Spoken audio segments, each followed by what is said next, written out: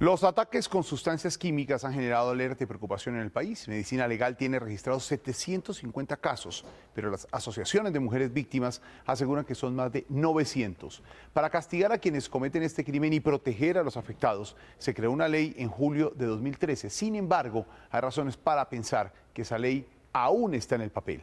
Noticias Caracol investiga. Las víctimas de ataques con químicos comenzaron a mostrarse abiertamente en el año 2012.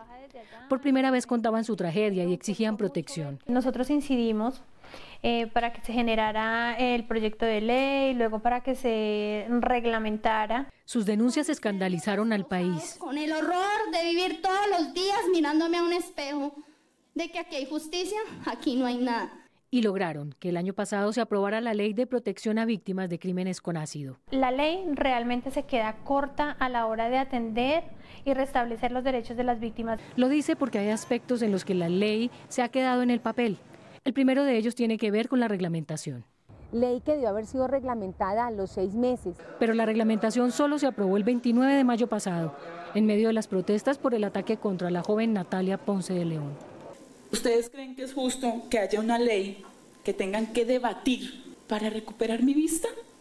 Uno de los artículos más importantes del decreto reglamentario es el que establece el control a la venta al menudeo de sustancias químicas en tiendas y almacenes. Solicita que se debe hacer el registro al menudeo a quienes expenden o venden este tipo de sustancias y al día de hoy los últimos, que son los que expenden, no tienen conocimiento. La concejal de Bogotá, Olga Victoria Rubio, hizo esta denuncia porque el decreto daba tres días hábiles para que los ministerios de Salud y de Comercio hicieran la lista de sustancias y la entregaran al INVIMA, para que éste a su vez creara los formatos de control y registro pero los tiempos no se cumplieron. Quiere decir que no se ha articulado, tenemos más víctimas y seguiremos teniendo porque el arma corrosiva está a la mano de cualquier persona.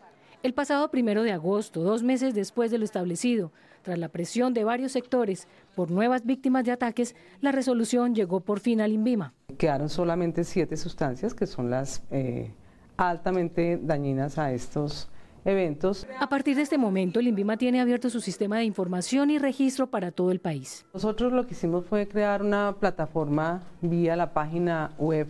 Ahí quien vende la sustancia se mete a la página web y llena los datos a quien le está vendiendo, la cédula, la identificación. Y están obligados a registrarse todos aquellos que vendan al menudeo álcalis, ácidos o sustancias corrosivas. En las sustancias líquidas estamos hablando de quien venda hasta 5 litros y en las sustancias sólidas de quien venda hasta 5 kilogramos. Pero el problema no para ahí. Otro artículo de la ley no se cumple en este momento. Tiene que ver con la vinculación de las víctimas de estos ataques al mercado laboral.